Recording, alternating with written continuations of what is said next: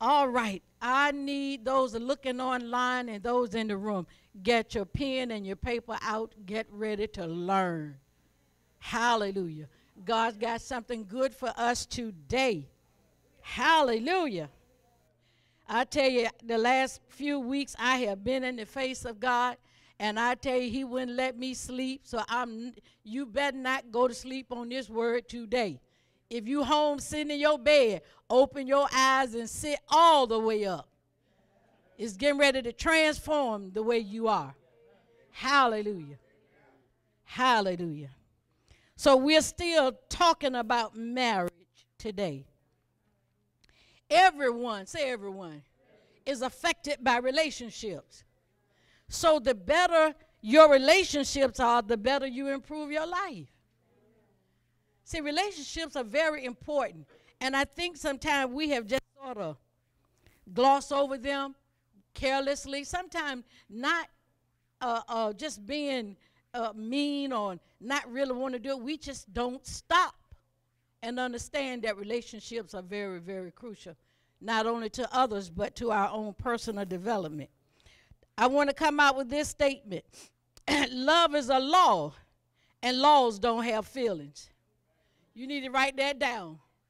Love is a law, and laws don't have feelings. When you run the red light, it's not personal. When you get the ticket, you broke the law. The law said you're supposed to get a ticket. Love is a law, and it has no feelings. That's the first thing we need to rewrite in our, in our mindset about love. Love is not a feeling, never has been, and never will be. There are laws of love and marriage, whether you are married, unmarried, divorced, or widowed. That, notice what I didn't say single.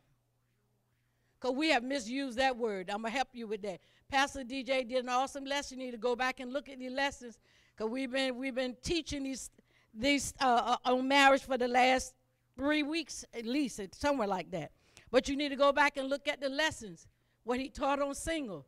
And I'm going to pick that up since he's not talking about it right now, but I won't do that today. But we're just going to carry it a little bit further. Amen. Now, listen marriage is one of the most important decisions a human will make in his or her life next to accepting Jesus. So, why do we keep getting it wrong? Uh huh. Woo, marriage decision is more important than buying a house, more important than the vehicle you buy. But how many of you spend more time studying about the house and the vehicle? You do your research. Woo, Jesus. So you can have an expensive home, a fine car, and a horrible marriage. Many people can't live in the house they bought because they spent more money on the house than they did building their relationship. Ooh, it's interesting to me.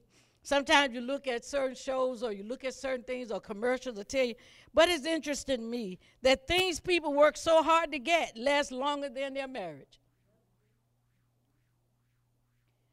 There's a reason.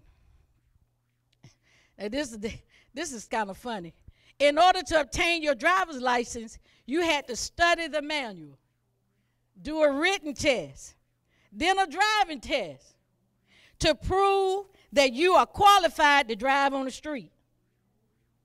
However, say however, you can go and apply for a marriage license and never be required to study one book, never pass a test, which means our society is more concerned about your driving on the streets than they are about your life in the community.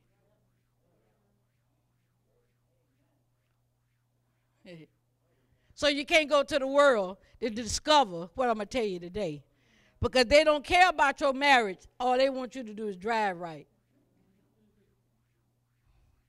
This is why the church has got to stop asking the world for advice on marriage. Only God has the answers.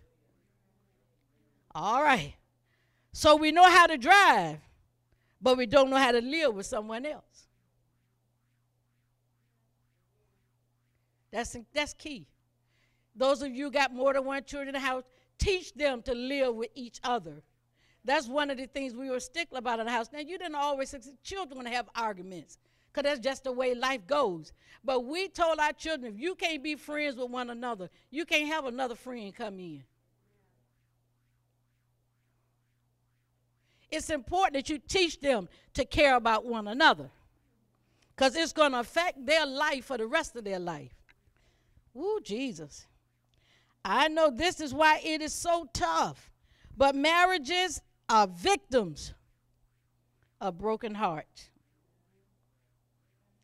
because somewhere somebody didn't know what to do. Some of you have tried marriage and you have just given up on it. You just make do. I've seen some people they they it's on paper and it's on paper only. They're just making do. They're unhappy, unfulfilled, and they know how, they don't know how to fix what they got going on. Some of you are tired of trying, so now the marriage you are in is all about you getting what you deserve because you feel like you don't suffered enough. telling you. Choosing a life partner for marriage must not be taken without careful and prayerful consideration. Now, I know some of us didn't get started right. That, but I got to teach you the truth the way God designed it so you can fix what's wrong. Remember at the beginning of the year, the Lord told me not to do what? I can't call coddle you no more. So don't look for no easy side. This is not the sunny side A.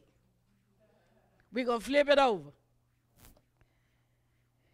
Ah, you just can't jump into marriage, even though they keep doing it.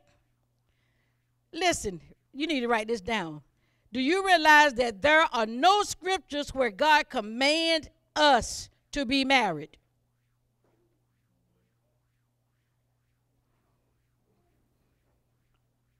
Come on, Christians, listen to me. I know you, you're going to hear something today that's going to help you. There are no scriptures where God command you to be married. God did not command Adam to be married to Eve. Adam did not even realize he needed help. Because he was doing what God called him unto. The best time to get married is when you don't need to be married. If you got this overwhelming need for marriage, it ain't time for you to get married. Woo, Jesus. Are you listening? You don't have to be married to be happy. Stop looking at married people and saying, Oh, I just wish I was married. They look so nice together. Why are you unhappy with your singleness? God made Adam single in the beginning. He didn't have a wife. Eve was not on the scene when God was developing him. Mm.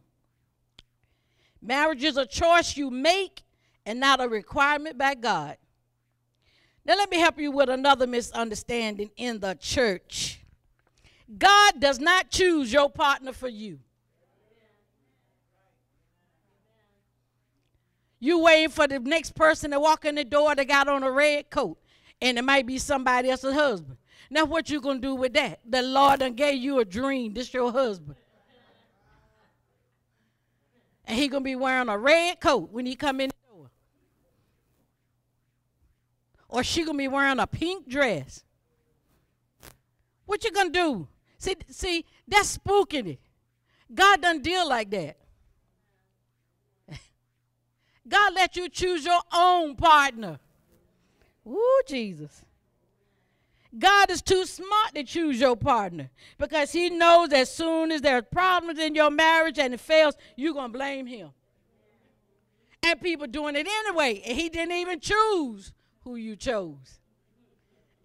and you're still blaming him for your failed marriage. Mm. God may present a person to you Say present. Just like he did Adam with Eve.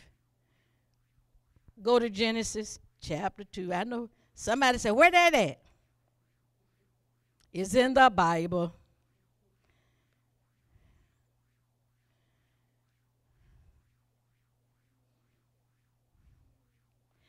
Go down to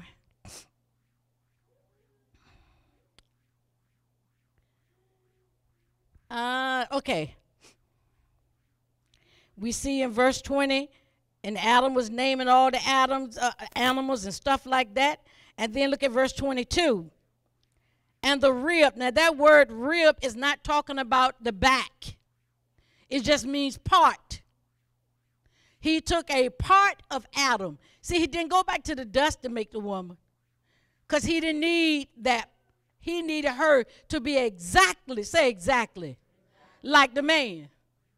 So inside of Adam was everybody that would come in creation. So God went into Adam and pulled out woe man, womb man with man with a womb, and presented because that's what that word says. Brought her means he presented her unto him. So Adam could have said, Well, I don't know, God, you know, you got anybody else? God presented the woman to Adam. He didn't force Adam to marry her. He just said, This your wife, take her. See, God doesn't choose your partner. You do. And if you choose unwisely, you pay the price for it.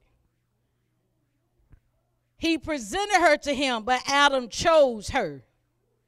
Woo, Jesus. Are y'all seeing that? But what I see more common than not is people just like the title of being married. It's like a fad. They're not interested in the parameters that marriage creates. They just like saying, I'm married. They're just like saying, I got a car. Hmm. But God does help us to choose. But you need to follow instructions. You want to write this down? God gave us a brain with 500 billion cells in it. Then He gave us the Holy Spirit to guide us. Then He gave us the Word to regulate your decisions. Then he gave you pastors to give you sound counsel. Then he gave you parents to teach you good sense. Then he gave you the anointing to discern. Yet, with all these available resources, people still keep right on ignoring and making their own dumb decisions.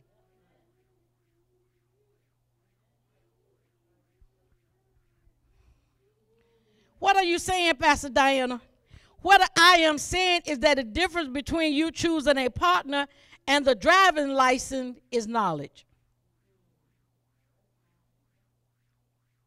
What you know is all you can bring into the marriage.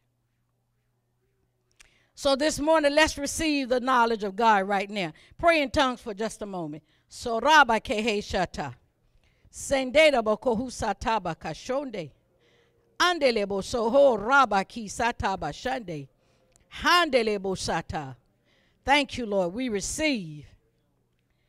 Love is not the foundation for marriage. Now, we already said love is not feelings. Love is not a feelings. I want y'all to settle down because I don't look, I'm gonna try to get in you as much as I can today. And if I go longer than an hour, you ain't got nowhere else to go. The snow gonna make everybody go home and eat what you shouldn't eat no way. you know when it's cold outside, we want that stuff, the, the comfort foods we call it. And most times it's just sugar. All right. Love is not the foundation for marriage. I know this is a controversial statement because when we normally get married to some, we say, it is because we fell in love with them.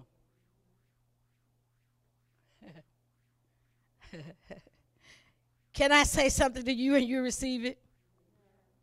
Love, just like sex, does not make your marriage work. Here's a question How many of you here in this room or online love someone and the relationship still failed? Point proven.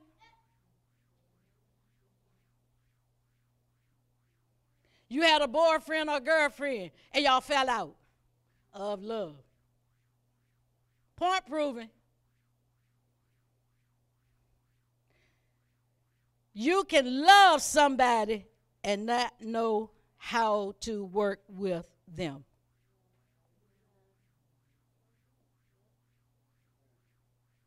Okay, example. You can have a toolkit, spanking brand new. I buy them quite a bit. That's why I use this as an example, because I like tools. You can have a tool kit spanking brand new, with all the tools in the kit.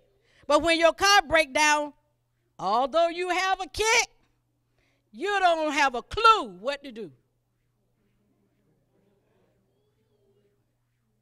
You got a wrench, you don't know where it's supposed to go. How many y'all know where to put the antifreeze versus the fluid for your wipers? You'd be amazed how many people don't know the difference. So it's knowledge that's missing. Mm. So love is not the problem, knowledge is. Say, knowledge is the problem because I don't know enough. Now, for those of you that are planning to get married, you need to listen to this a hundred times before you say, I do. Love is not the problem, knowledge is. Love does not keep your marriage together. So you don't lack love. There were other, say other. Say it again. Say it one more time.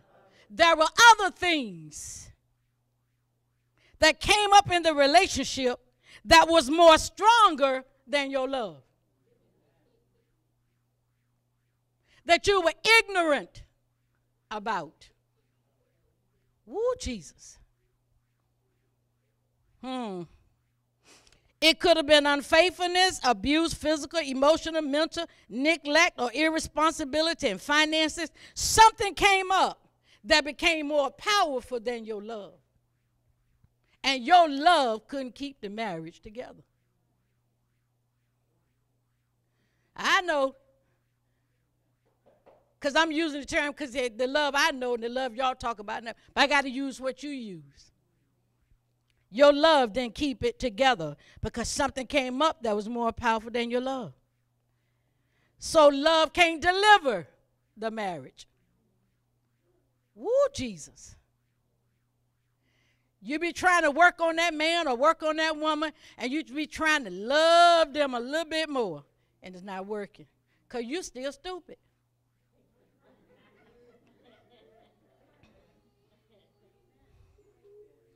You might want to write this down. A successful marriage is the result of the application, not having it in a notebook, but the, is the result of the application of knowledge and not the exchange of love. Ooh, Jesus, I know I'm coming at you strong this morning because I got a whole lot that I got that's in me. It's a whole lot in me. I've learned these things over 41 years. It's a lot in me. Listen, you can be in love all you want to, men, but it doesn't, does not make her the right woman for you. Ladies, you can express your passion for this man all day, and it still does not make him the one for you because you don't know him or her yet. Let's look at Proverbs chapter 4, verse 7. When you have it, say, I have it. Wisdom, cha- I mean, Proverbs chapter 4, verse 7. Wisdom is the principal thing. Therefore, get wisdom. And with all that getting, get understanding. One translation says, Wisdom is the most valuable commodity. So don't be stupid. Go buy it. Revelation, that's my that's my adding to it. Revelation knowledge is what you need so invest in it. God must reveal the person to you that you are about to marry. But see, we put our emotions out front and we shut down revelation. So you never get to know the person. Then you tie yourself to them. And then you discover stuff about them that you don't like. When you could have avoided a lot of the stuff. Mm. But we act like we're so desperate, we just got to have somebody. As though God is not enough for you.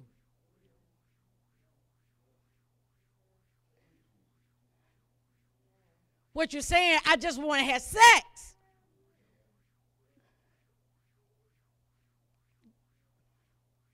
Let's make it legal. Because I'm really not trying to learn you, I just need you. Ooh, Jesus.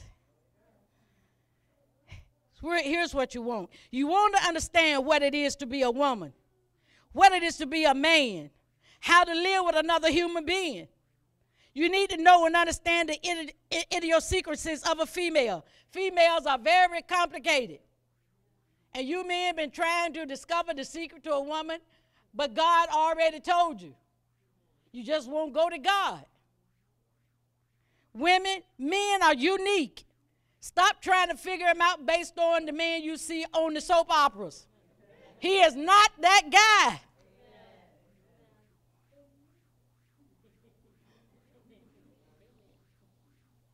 You want to understand how to manage emotions and how to handle anger because it's going to come up.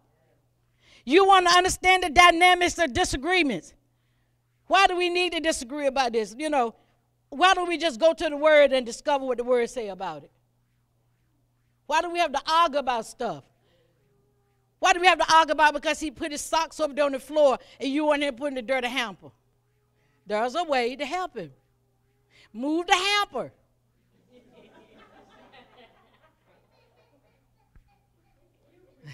Problem solved. We make big issues.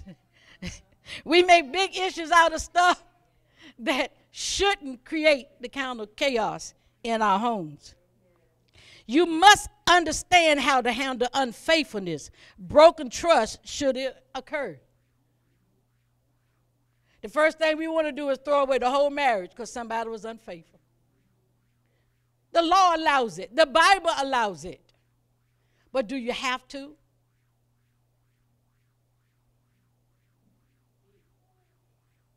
Oh, y'all got quiet.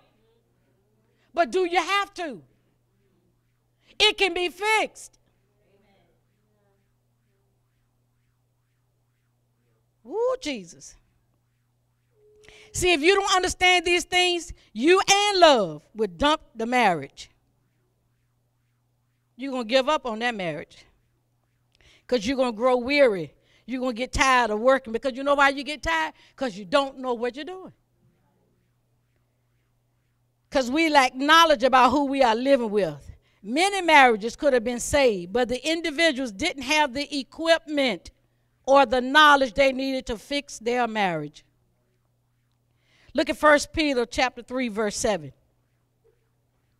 Now, men, if it seems like I'm, I'm challenging you this morning, that's because I'm challenging you. Because God made you the foundation and the head. So if He started with you and a woman came out of you, you got to get some knowledge to know how to fix your woman. You wait for God to come down and wave a magic wand and fix your wife. You are the fixer. You need to know that. And if she wasn't like that when you first met her, you broke her. You definitely have to help fix her. Watch this, because the Bible commands you, husbands, in verse 7 likewise, you husbands, dwell with your wives according to what? No, no, no, no, no, no, no. According to love. He said, You better live with this woman according to knowledge. About what? About the woman. Not about the news, about your wife. Not about sports. Some y'all know more sports than you know your wife. How many of you know your wife's favorite color? What size shoes she wear? What color is her hair? Today, anyway.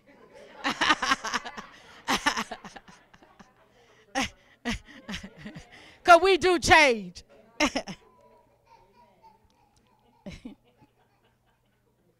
but the Bible commands you to live with her according to knowledge, giving honor unto that wife as the weaker vessel, not because she's weak in physical strength, but because she's supposed to be delicate.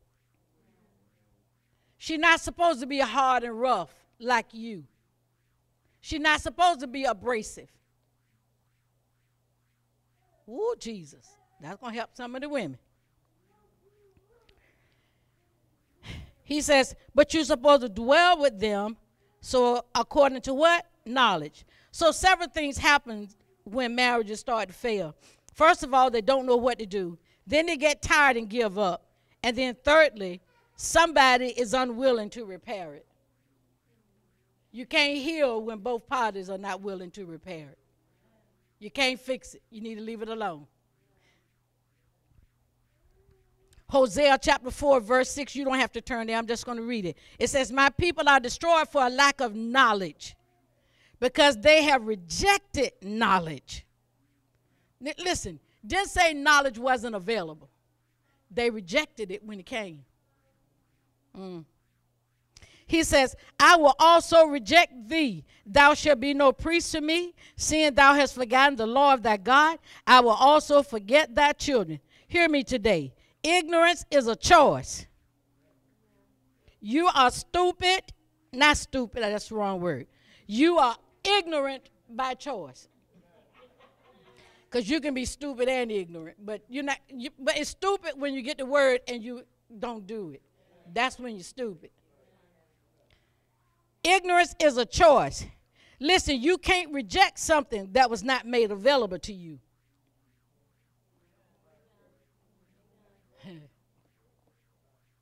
if you are rejecting what I am saying right now, it's your choice. However, truth is being made available to you. And you can't be helped with what you are unwilling to know. God can't help you with your marriage no matter how long you pray. If you're unwilling to know how to work the marriage. If you think praying is just going to resolve all the issues, you better rethink your prayer life.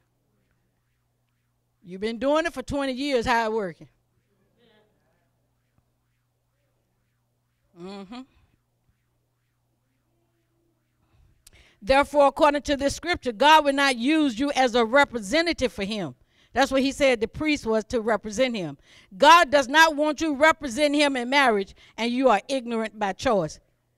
Making God look like a nutcase. You married to somebody that's dogging you out and you stay in that mess and just act like uh, God put you there because you said God told me to marry him. And you so full of pride, you don't want to back out of it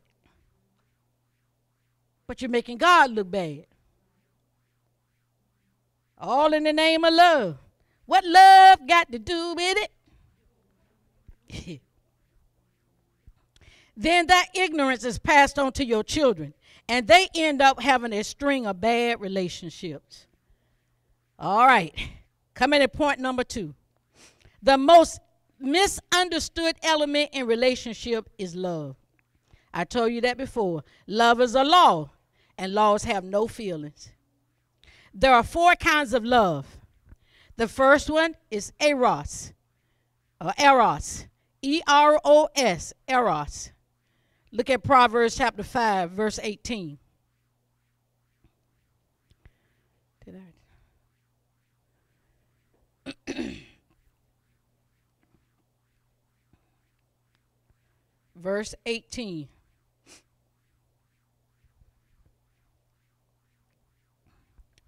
See, it's talking about physical love here. Let thy fountain be blessed and rejoice with the wife of thy youth. It's saying, let your sex life be blessed. Mm-hmm. Sex supposed to be good. Eros is not a bad kind of love, but we've done it out of order. and which makes it terrible because now we get our signals from sex instead of knowledge. And love and, and marriage cannot be established on sex alone. It's going to fall apart. So eros is physical attraction. And most time in our society, because it's been blown way out of proportion, it seeks its own interest and satisfaction. It takes possession of the object it loves. This is why when you go to bed with somebody, that spirit of possession come on you. You think you own the person, but you ain't married to them. You cannot monitor where they go, what time they gonna come back and be with you. You don't have any legal rights. I know I'm teaching better than y'all saying amen. But inside, you feel like you own them because that's a part of Eros or Eros love. It's supposed to come in the union and we possess one another. It's not a bad feeling, it's just been used wrong. And it's crippling marriages.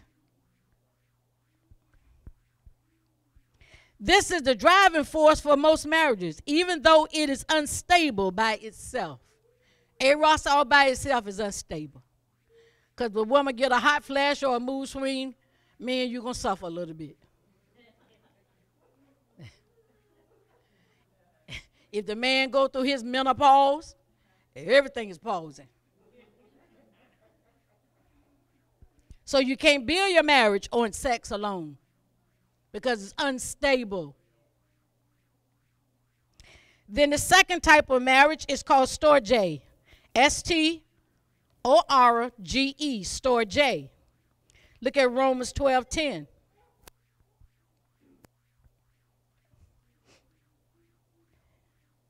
Romans 12, verse 10.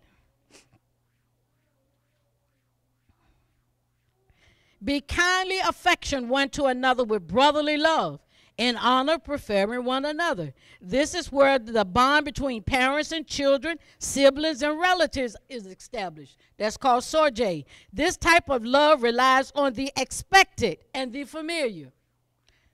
However, the and the affection for people that are always around us in our normal day-to-day life is the majority, say the majority, of the love we experience even though we call it something else. Most people never move beyond the love for family. Y'all got to hear this. We build our marriages around family ties.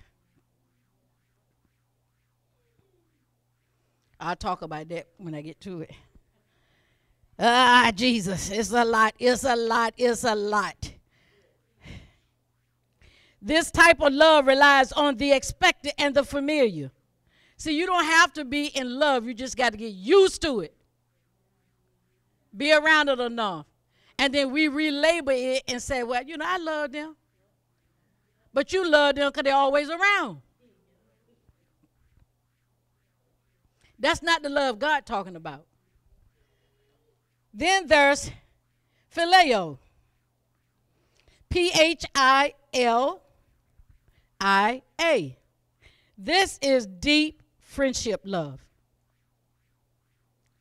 Now, this is as close that you can get to the, the last love without it being divine love. Because this is the door to marriage. You need to write that on your paper. Phileo love is the door, is one of the doors to marriage. This needs to be established before marriage. A deep, abiding friendship love. It is the least celebrated in our modern society and even ignored. Why? Because it's the most time consuming. It requires you to spend time to make it work. Because I am learning you in the friendship. I ain't in the bed with you. I am learning you in the friendship. Marriages who never have friendship suffer a lot.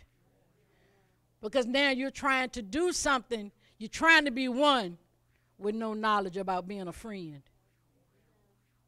Ooh. Only a few value it because only a few ever experience it. It is the closest resemblance to heaven without being agape.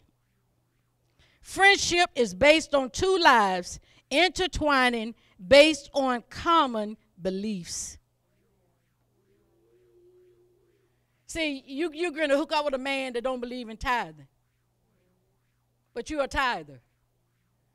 Your marriage going to suffer. Now, right now, you're not under the curse. But you marry a man that don't tithe, he going to bring you up under the curse. And everything you have succeeded in life without him, it's going to go away. It's going to fall apart because now you're walking voluntarily under a curse. Now, if you don't know if he's not tithing, you need to ask him, do you tithe? Every time. Not once in a while. Do you tithe every time? I'm talking to believers. I ain't talking to the sinners. I'm talking to Christians. Is that man a tither? Because if he don't tithe, you're going to walk smack dab into the curse. Ain't no such thing you're going to avoid the law. The law the kingdom says every believer must tithe and give. You can't access the kingdom without being a tither. See, y'all need, y'all need to learn the law. It's a lack of knowledge. People are dying, the Bible says, because they don't have knowledge. And when knowledge is presented, they reject it.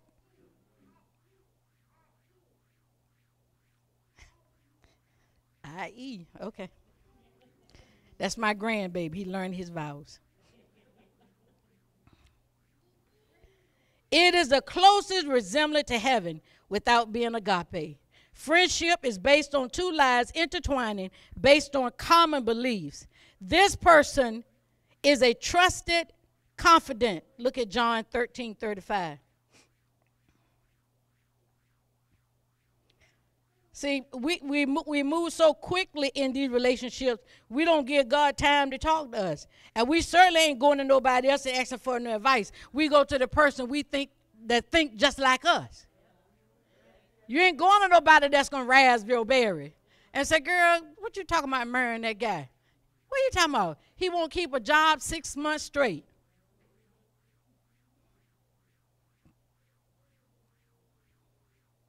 He got a he got a ticket record as long as your arm. You get married, all them tickets coming right into the marriage. That means he is he's a lawbreaker. You'd be surprised. I mean, some people got tickets so long they can't get insurance. The wife have to carry them. You need to know this stuff. Just because they driving a car, you don't know if they got insurance and you riding in the car with them. You better know he got insurance. See, you don't know that guy yet. No, because you's in love. But you're being stupid. You better ask some questions and be ready for the answer. Because it may not be the one you like.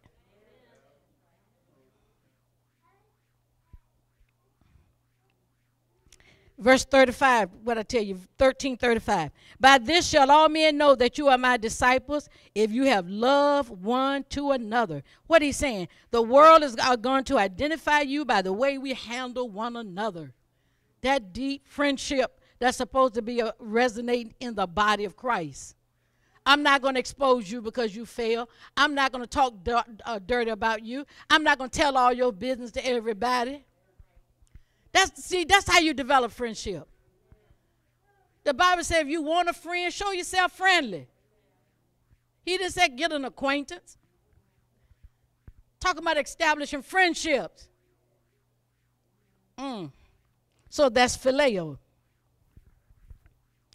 And of course, the number four is agape.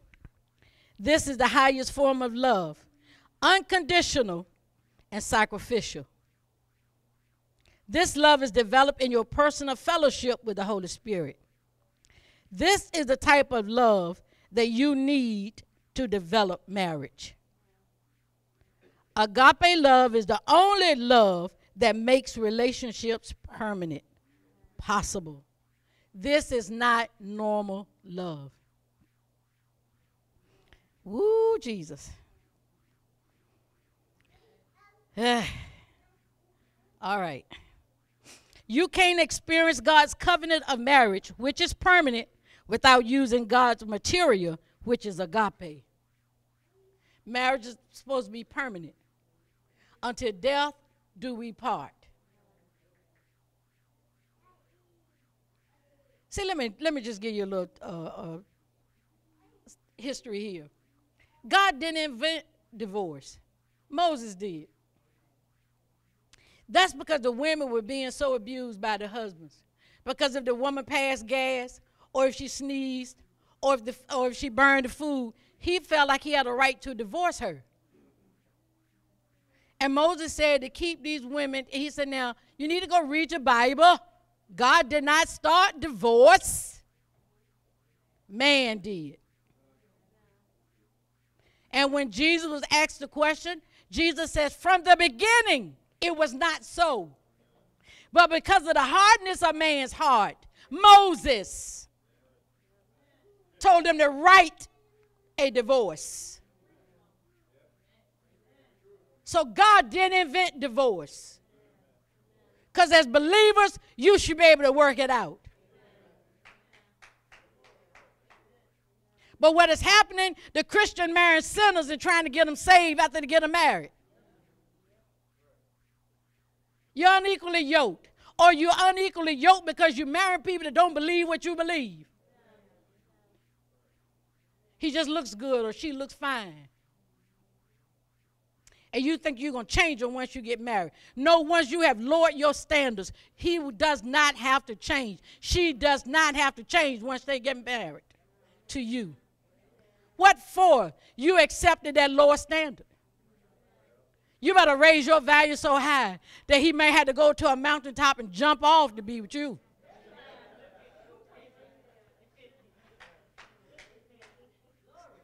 And then stop going to loader bar to find somebody. You ain't supposed to be looking no way. Going in the hood to get everybody like God don't have no good men. You just ain't made yourself ready yet. I know I'm not saying good English, but it's coming out. Everybody understand what I'm saying, right? I'll talk good English when it's time. See, because love is not an emotion. Let me tell you what emotions are. You ready? Listen, when you see with your eyes someone, you have a pleasant experience because you like what you're looking at.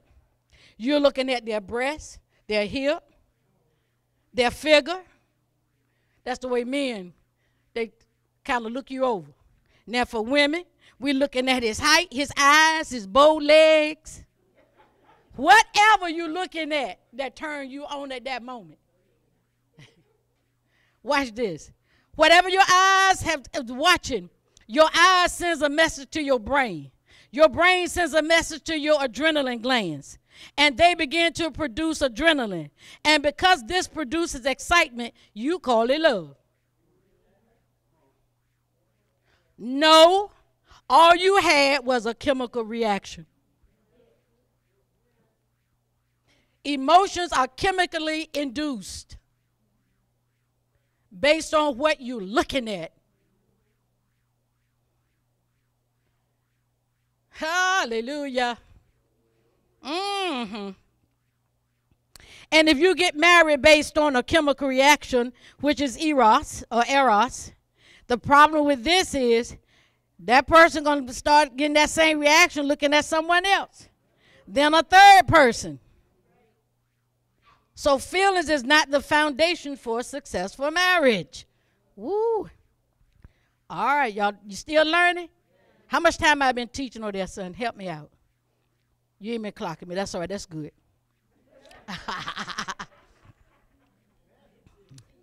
Love is the response to understanding the value of a thing. I'll say it again because you want to write that one down. Love is the response to understanding the value of a thing. When you love someone or something, you place, say, I place a certain value on them. Woo, Jesus. Example My husband owned a Rolex watch. He also had an everyday watch. Now, because of the value he placed on the Rolex watch, he purchased a box which was almost another three, four hundred dollars all by itself. That when he wasn't wearing the Rolex, it will automatically turn that watch over every hour so it would never lose time. Say he put a value on it. Now the watch costs $10,000. Don't you think he would take care of it? He put a value on it.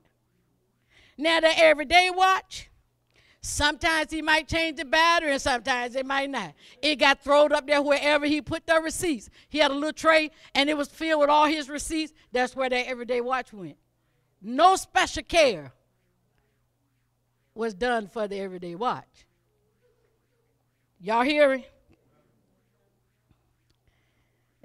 Because sometimes the battery will go dead in that watch and he may not change it for the next six months. I'm going like, because he wouldn't wear the watch every day. He going like, I don't care. You got your watch on, don't you? and as long as he was with me, he said, I know the time. But when he came to church, he gonna wear that Rolex. Watch this. The more value someone or something has to you, the more you take care of them. Oh, Jesus. I'm, I'm going to go deeper just a little bit. So, love is a response to understanding value. God placed such a high value on us that He was willing to allow His Son to die in our place. Listen, so when God looks at me, He sees Himself. Let me say that again because you'll catch it next week, maybe. When God looks at you and me, He sees Himself. Second Timothy chapter 2, verse 13 talks about it says, if we believe not yet, he abideth faithful. He cannot, say cannot, deny himself. When he look at me, he's seeing himself. Oh, Jesus. How many y'all? We are made in his image, and God cannot, will not, does not think little of himself. So he does not, cannot, and will not think little of you. Because when he look at you, he sees himself.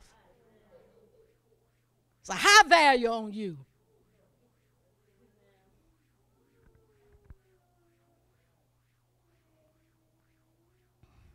He that the value was so high that he put all of heaven at stake. If Jesus had come and did what Adam did, heaven would have been gone. God put all that he was on the stake for you and I. That's how valuable you are. You are worth God. Can't nobody tell you your worth but God. Woo, Jesus. Mm. Now, value is measured by what you are willing to spend for something. When you pay for something, that's the value you gave it. If you went to the Dollar Tree and you bought something, that's the value you put on it. That's why you know you figure I'm gonna go back and buy it again and again and again and again. Cause it ain't worth but what? A dollar. A, a dollar twenty-five now. Inflation hit. Woo! The more you pay for something, the higher the value you placed on it. The more you are willing to pay for something, the higher the value you put on it. Women, listen to me. You make yourself too cheap. That's why when you get married, you got to take care of yourself. You better keep a job, or else you're going to never get your hair done.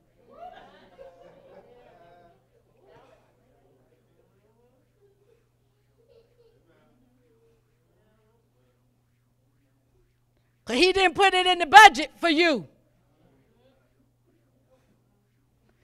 Ooh, I'm jumping my lesson. Let me say this. What did God pay to get you? God put his whole image on the cross, which means you are worth God. I got to keep saying it. You are worth God. That's how you measure value.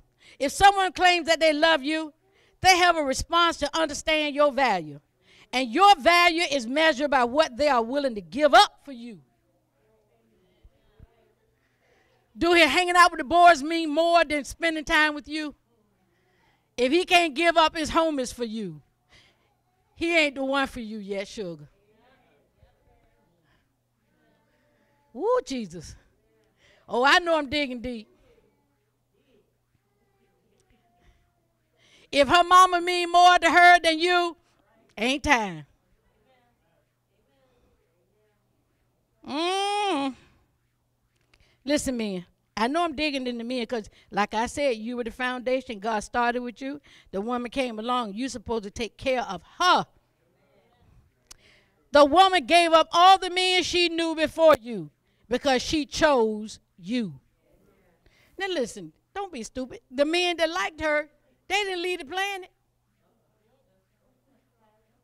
You men act like your wife, like like your wife don't don't see no other man, no other man but you. There are other men out there still like her. Somebody like your wife the way she looks. This is why you need to treat her right, so she wouldn't have no need. Ooh, Jesus. what are you willing to counsel to get her? Are you willing to counsel your own mother for her? You men that's so tied to your mama that it's almost like have her in the bed between you and your wife.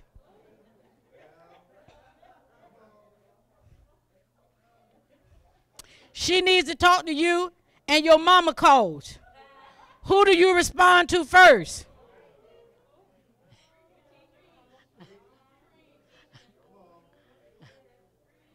I can only talk about my house, but in my house, my family didn't come first.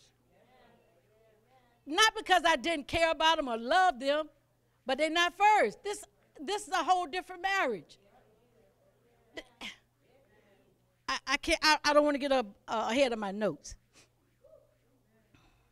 Who are you gonna respond to first? I am not saying to disrespect your mother. Don't go lie on me.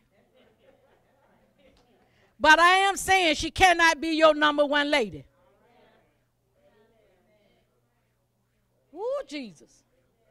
Put her in her proper place. Your wife should not have to compete with your mama. If your wife still have to compete with your mama and your relatives, then your wife is not the most valuable person to you. And she will sense it. Because the first thing she going to say, every time your mama call, you run over there, but as soon as I ask you to do something over here, you can't do nothing.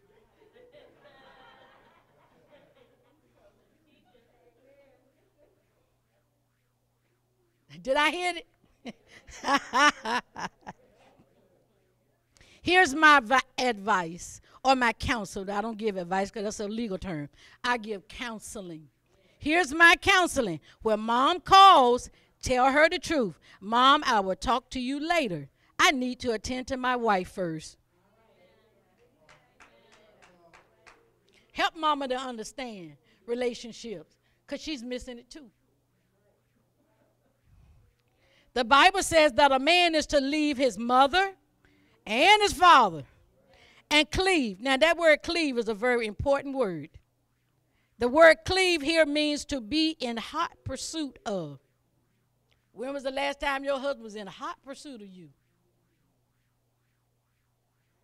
Y'all got quiet. What happened? All the jumping up. What up? What happened? What happened? Come on, everybody say this. I was born to leave my parents. okay, are you ready for this? I had to learn this by the help of the Holy Spirit. Getting married does not bring two families together. Woo, Jesus. I'm going each each point going deeper and deeper. This concept of two people bringing two families together invites interference. Some people are divorced today because in laws became outlaws. Family would get in your business and keep all kinds of nonsense going on. No relative, say no relative, should be able to just drop in your house whenever they feel like it. Not mama, not daddy, not uncle, not Susan, not granny. Not cousin boo boo. No one should be able to drop in your house whenever they feel like it. I know I'm helping. Because y'all might be doing something important. You might not want company at that time. Tell them to call you. And if they get offended when you say, call me, they got the issue, not you. It's a courtesy thing to call somebody. Just don't show up.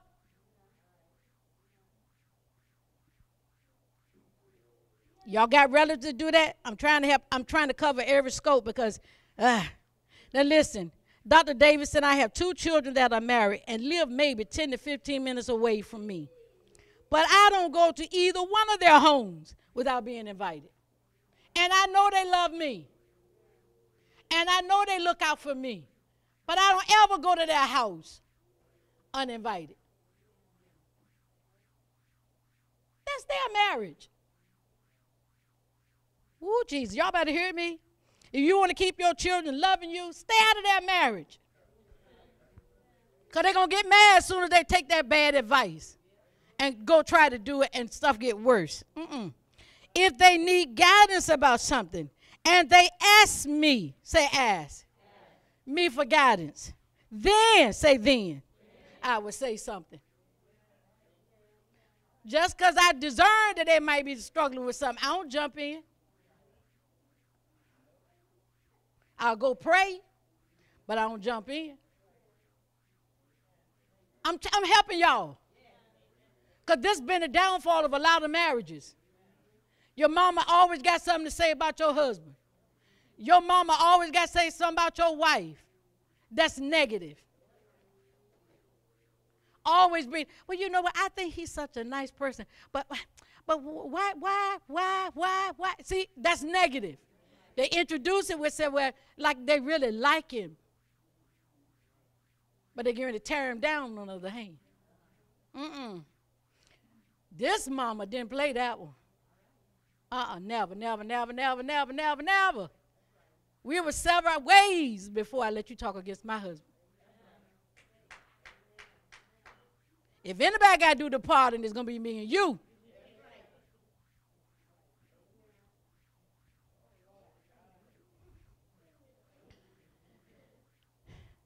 Listen, men and women, protect the sanctity of your marriage.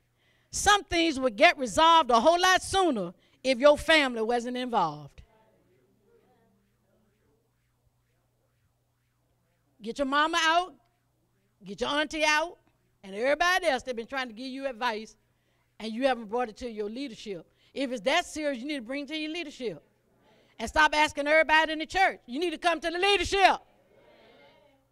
And then as soon as your business get in the, on, in the airwaves, then you upset. You telling everybody but the right people. Quit asking people. Come to your leadership. They'll protect you. All right, let's move to the next point. Oh, Jesus. Love is a force generated by a decision. To love is a choice. this was good when God said it to me. If God responded to us by the way he felt about what we did to him, we would not be redeemed today. You would be in hell, people. See, this is super important because true love has no feelings, it's a choice. You can't wait on a feeling to determine if you're going to love someone. Remember, feelings are a chemical reaction to what you see.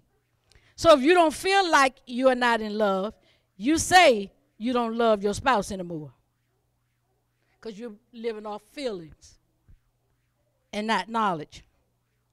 Now, so many women are under so much stress trying to keep their husband's attention on them that they are sick with cancer, high blood pressure, diabetes, almost every disease known to mankind enters through the door of stress. they're afraid of losing their husband. This is why you need to choose wisely. Your value to this man is too low.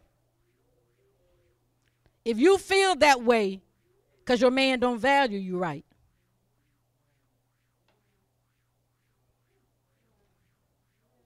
Go ahead and fan.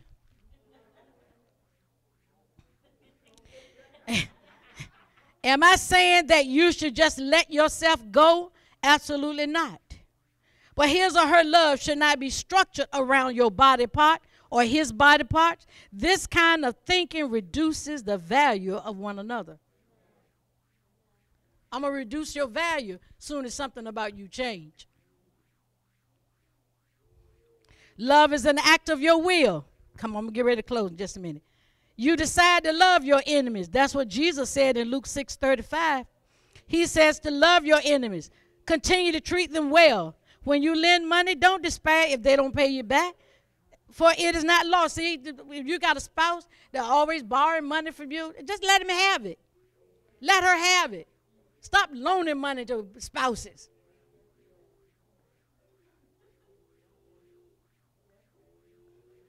That's you. You borrowing from yourself.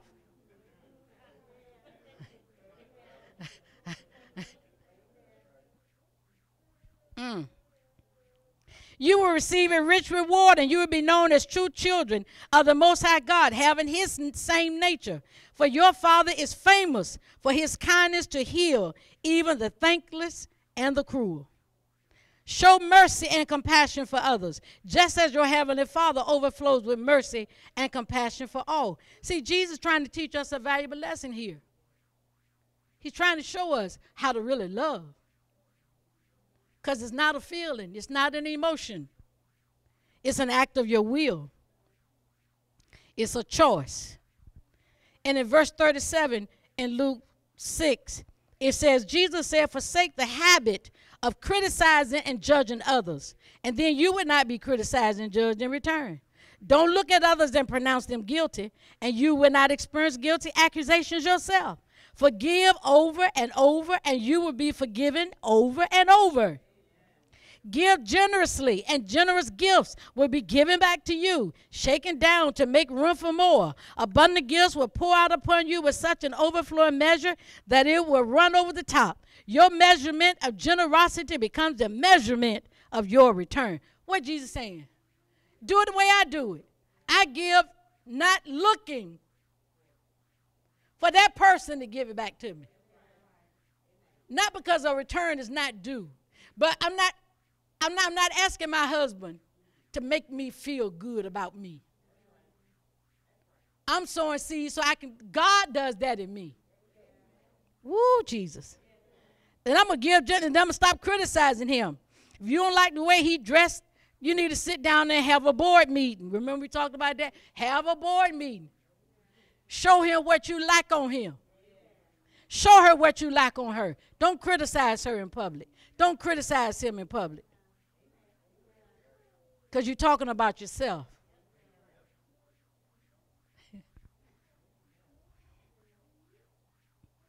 Woo. All right. How much more should we forgive those that we say we are in love with? All right. I know I'm going long this morning, but y'all need this. I, I can't stop because it just, the points need to come to a conclusion. And in order to get to the conclusion, I got to keep going. Love is a command, which is a law. We obey laws or commandments out of our will and not our feelings. You don't feel like paying bills, but you pay them if you want to keep that car. It ain't about your feelings. You're doing that out of your will. Are y'all hearing that? So you will yourself to pay your bills. Listen, your spouse would do things that would get on your nerves, or they would do things that hurt your expectation of them. But you decide, say, I decide. I would love them in spite of how they are acting right now. Since Jesus said that we have the ability to love our enemies, and we do. Now, if I can love my enemies, you mean I can't love my wife? It's a choice. Then your spouse that you won't get along with, you have decided not to love them. Oh, Jesus, did I hear the, the ruffling of the wind? See, some people are made up in their mind they're just not going to get along with their spouse. I ain't going to leave you, but I ain't going to get along with you. I'm just going to work on your nerves. They decided a while back they're not in love with you. And that's what they're running on. Watch this. You must not allow your feelings to come between you and the law. What law? The law of God that instructs us on how to have a successful marriage. You cannot let your feelings get in there and say, that's just too hard. I know what she's saying, but that don't make no sense. We got to go there, there, there, there, there, there, there, there, there. You come in between what would be successful and what keeps you failing at it. Mm. Are you still listening?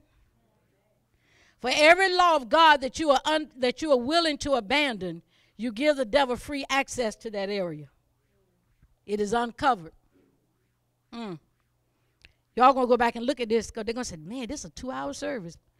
Good. John 13, 34 in the trans, in the um, passage says, "I give you a new commandment: love each other just as much as I have loved you."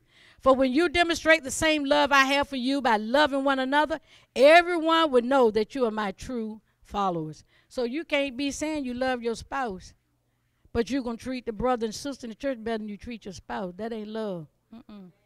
you supposed to do this all around. This is supposed to be who you are. Everybody that know you supposed to know you because of your love, your love walk. Amen. Romans 13, 8 says, Don't owe anything to anyone except your outstanding debt to continue to love one another. So love is a debt you owe. You owe people to love them. You owe your spouse the right to love them. You owe them that. Mm. Okay, let me keep going. For the commandments do not commit adultery, do not murder, do not steal, do not covet. And every other commandment can be summed up in these words Love and value others the same way you love and value yourself. Love makes it impossible to harm another. So love fulfills all that the law, say the law, requires. Now, love is not a gift, but a fruit. And you can find that in Galatians 5, verse 14 through 15, and then verse 22. But the fruit of, in verse 22, but the fruit of the Spirit is love. It's a fruit, it's not a gift. There's no such thing as a gift of love, it's a fruit. And by the grace of God, is either in you or you ain't got it. Because love comes from God. True love comes from God. And that's the only way you can truly love somebody is to have God in you. All right. I'm going to close because I if you are born again, then you have the Holy Spirit, right? Which means you have the love of God, right? Then why do Christians divorce? Because having the Holy Spirit does not equal to having knowledge. Remember our example of the toolkit? You need to know how to use the toolkit. Having a toolkit is not enough. It's like saying, I'm born again, but you don't know nothing about the kingdom of God and God's way of doing life. The Holy Spirit is the ecclesia who comes to help you, not run you, help you, and to bring things back to your remembrance. Now, what does that tell you? That knowledge had to be put in before the Holy Spirit can remind you. He can't remind you of something you ain't never learned. So knowledge is the culprit in failed marriages. So knowledge has to be put in before the Holy Spirit can remind you. So ignorance is the killer of marriages. You know you don't know what you are doing yet. You just refuse to be retrained to what is right and what works. You rather listen to people who have failed in love before you do it God's way. Real love comes from God because God is love. All right. I'm going this I'm going real deep and then we're going to close. Can you handle this? I'm going down to the bottom of the ocean like a submarine. He that have ears, let him hear what the Spirit is saying to you today. Now, love is a decision to commit to meet the needs of another for life without, say, without expectation. Ooh, Jesus. This is a high order which requires a level of love and knowledge that most Christians never, ever experience. Love is caring. What is caring? In the Hebrew, caring means to anticipate a need. Caring is to anticipate the need of your spouse and meet it now. Mm. When you care about someone, you study them and what they need and give to them in advance. Example you don't wait until it's time to sit at the table and eat, and your spouse is ready to eat, and then you say, Oh, I need to go to the store. you don't really care about it. Caring means I outthink you. I don't wait until you ask me for something to provide that thing. I am always anticipating what you need and make provision for it before you ask me. That's real love. This is why marriages fail. I'm trying to help you. When a person say that they care for you, check and see what they have made provision for you. What kind of provision they made for you? If you living in a house now and, they, and they're going to take you to their mama's house, you better stay in your house, sugar. He ain't provided for you yet. I don't care what he say. Let him provide it first. Let him get a place without your name. If you're a good man, he can get it. If you got ragged credit, help him by not joining in if he love you, he'll restore his credit. He'll fix it.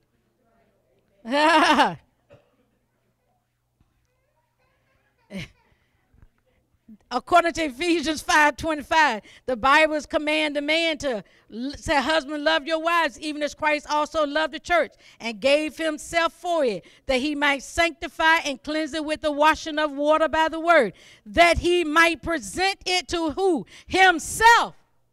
You are presenting this woman to yourself. And how you handle her is a determining factor of what you think of her, what value you got on her. She shouldn't have to beg you for her nails to get done. Now, if you can't handle it in the budget, you need to tell her the truth. But make provision. Start making provision. God will provide the money when you start acting like you want her to have it. But if you constantly complain about her needing this and needing that, God will never give you the money for it. I never asked my husband for furs and diamonds. Never. He would come home with a diamond. The day my husband left this earth, he had a diamond delivered to the house for me. Anticipation.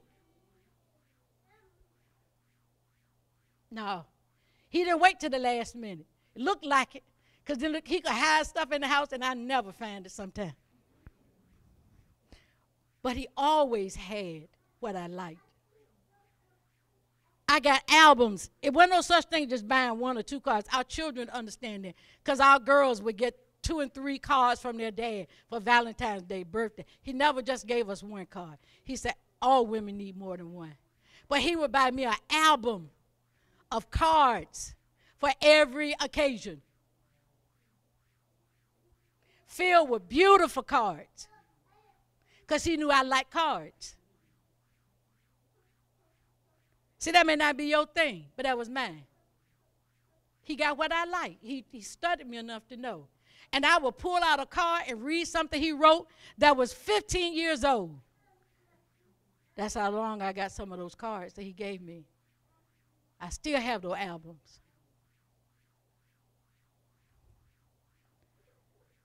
Why? Because he's presented to himself his glorious church.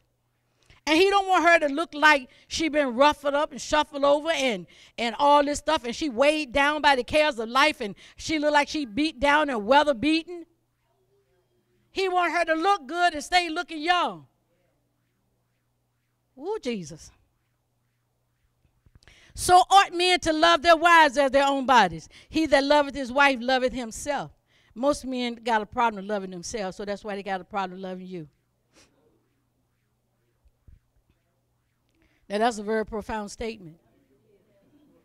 Because most men don't like themselves unbeknown. You know, they, they can be macho, macho, but they really don't like themselves. That's why they mishandle you. 1 Peter 5 7 says, Casting all your care upon him, for he careth for you. In other words, he said, Take look, come on, baby, sit down, pour all your worries and your stress on me. I can handle it. Tell me what's tell me what's bothering you today. I'm prepared for you. I anticipated that you're gonna have a rough day. Sit on down. Let me let me talk to you. Let me ease your mind. Me and you were built for that. But because you didn't know it, the woman struggled a lot. And she won't she don't feel safe coming to you and telling you that she had a bad day. Because she too busy got to keep you from falling off the handle because you had a bad day. Mm-hmm. Watch this. God commands us to cast or to throw our concerns to Him, for He has already anticipated what we would need and met it. I said, met it. God anticipated that we would need healing. Check, provided. He knew that we would need to prosper. Check, that's done.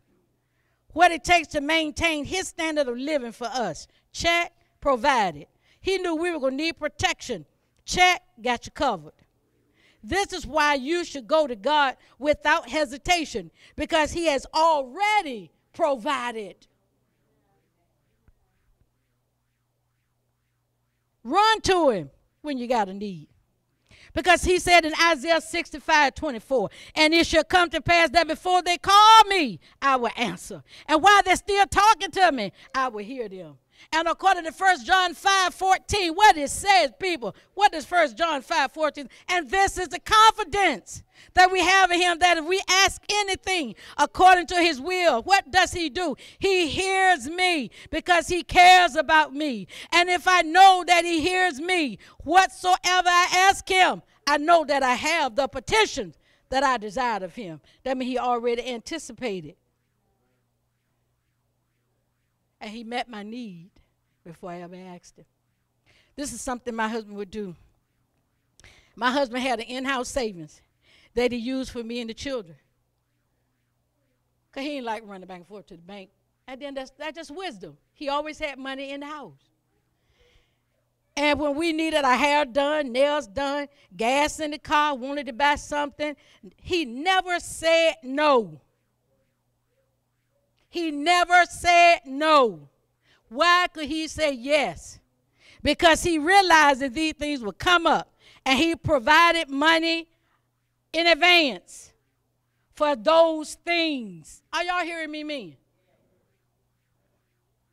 Just because she got a job don't mean you shouldn't take care of her. I had a job for a while. I mean, I worked with my husband. I worked in this ministry, and the ministry gave me a salary. My husband never asked for any of my money. We did not live on my money. I would spend it or give it away. Uh uh-uh. uh Now, if I went and bought something, like I had a little credit card, and I told him, I said, Can I get this? You know, I, I wanted to get this card. He says, Now, you willing to make the payments? I said, Yeah, I'll do that. And then as soon as I that got that card paid off, I went click, click, cut the card right up because I ain't like making payments. I want him to take care of me.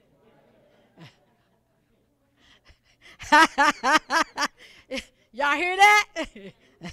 so many arguments can be diffused if anticipation and provision is done. Watch this now. True love has no reason. You might want to write this down. If you can find a reason why you love someone, you just cancel agape love. If you can tell a person why you love them, it's not agape love. Reasons cancels out agape love. This is why you cannot find on any page of the Bible where God says why he loves us. Because agape love is and always unconditional. Unconditional means without requirements. Conditional love means having requirements being met, made, or granted in certain terms. When someone tells you they love you, ask them why. And that why will be the reason that will destroy the relationship. Okay, so you don't believe me? Let me prove it. First of all, if there is a reason, it becomes a condition that must be maintained. Example, he got a good job making $100,000 a year. You got that Coca Cola figure, your hair the right length, and you got white teeth. You better, he better keep that good paying job. It doesn't matter that the company he worked for moved overseas and now you have to look for another employment that may or may not pay him what he was making before. Or perhaps it's your figure. You start out 135 pounds, measuring 36, 24, 40. You better stay this side the whole marriage. These are conditions placed on spouses that are unrealistic and unreasonable. This is not to say that you just let yourself go. But too many times, what my, my husband and I saw was pressure put on a marriage from the beginning because one or both spouses had conditions to their love, which is not godly love. See, whenever there are conditions, there is expectation. I expect you to keep your hair a certain style and length. So if you got an issue and something happens to your hair, your hair was the reason I fell in love with you. And now I don't know if I still want you. Because you changed your hair. It gets worse. Expectations guarantee disappointment because nothing in life remains the same. It's all temporary. Something on your body will fall, drop down, get bigger, stretch, wrinkle. Changes do happen. But if you expect your spouse to look like they did the day you met them, you are going to be disappointed eventually. See, you did not anticipate changes and made no provision for them in your soul. See, these types of marriages have never experienced agape love. Conditions cancel out the God kind of love. And usually, when a spouse becomes disillusioned and disappointed, they stop looking for the good in their spouse. Wait, it gets worse. Expectations and disappointment will lead to division in the relationship. Have you heard this? I did not expect it to come to this. What they are saying is that there is a division in my expectation. You let me down. Division results in divorce. The word the the uh, di means two. Now you have two visions in the same household. He has this thing and she has her thing. Jesus said that a house divided against itself will not stand. Mm, mm, mm, Divorce leads to death or the death of a relationship. And it's all because of the conditions that are placed on one another instead of marrying based on agape love, which says, I will love you and be faithful to you and care for you until I die or Jesus comes back. Come on, stand to your feet. I know I kept you a little long. But I needed to get this whole point out. When I go to the next point, I didn't want this dangling. Because marriage is important to God. If you're going to be married, marry His way. Take time to get to know the person. Don't assume you know somebody. Never assume. Assumption is a terrible disease. You assume you know something about somebody you don't know. It's all right to test them. Find out where they, where they, what they really believe about God. Do you really know what they understand about your God? Do you talk to them enough to know what they what they're saying? Can they weather this test? Can they withstand trouble? Man, there is no such thing that a marriage cannot be repaired. If you're willing to repair it, God can fix it. But you both got to work at it. You got to work at it. And it's doable. Challenges come to every marriage. But as believers, God didn't give us the door of divorce just because I don't like your hair or I don't like your size. I don't like your teeth. I don't, God doesn't give you a door of divorce. Only, say only, in the case of adultery, will you find in the Bible that God says you have a right to divorce.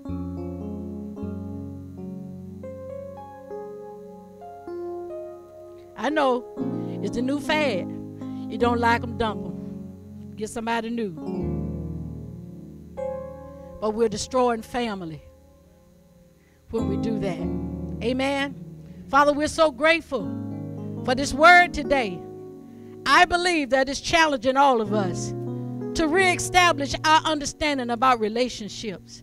I believe you are building strong marriages in this church. I thank you for every family that's represented here today. I thank you for every person that's listening online. I thank you that they would never see one another the same again. But that the Holy Spirit, you they would give you opportunity to go in and begin to challenge what they know. And they begin to study the word to find out their part. And I thank you for doing it. Because we receive that now. And we think that lives are being transformed. People are hearing this lesson. And it's reaching all across the world. Because it's so necessary. Family is crucial, Lord. And it's built on how we handle one another. And we thank you, Lord, for reestablishing marriage in our land. Hallelujah. Hallelujah. Because the will of God for you today is in earth as it is in heaven. God bless you. We'll see you on Wednesday night. Let's get ready to receive the tithes and the offering.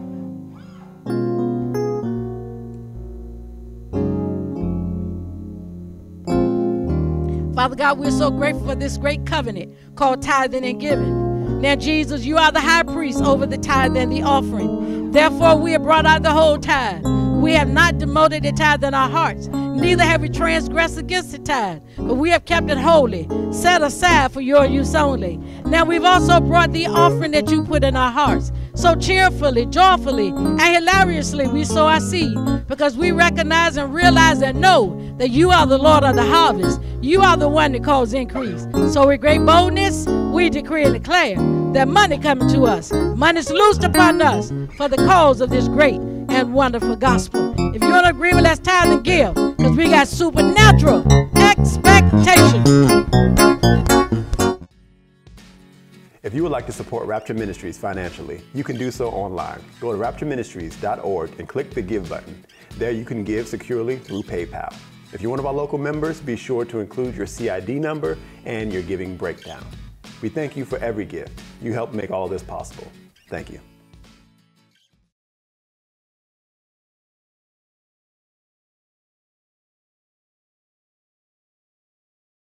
Ah, we bless your name, Lord. Hallelujah.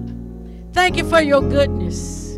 And Lord, we believe that we receive the bounty on of all of our sowing, that is coming back to us good measure, pressed down, shaken together, and running over, where you cause men to give into our bosom. And we receive now supernatural, supernatural money. It's coming our way, and money just keep right on coming. And money just keep right on coming and we receive it now. Now we thank you, Lord, for what you did in this house today. We believe that we have done what you asked of us to do, and we receive this word, and we will take it and let it be nourishment into our spirit man. And we decree and declare a happy day. Now I pronounce the blessing upon my children. And I thank you that as we leave this house, no hurt or harm or danger will come unto our lives, that we will prosper in this week that the that the blessing of God will follow us and overtake us. That the divine favor of God will be upon us and profusely abound in us. That it will surround us in every activity, everything that we have to do. We will see your divine favor. And we thank you for it, and we'll come back together rejoicing because our God is a good God. And we receive it now. Amen. God bless you. We love you. See you on Wednesday night.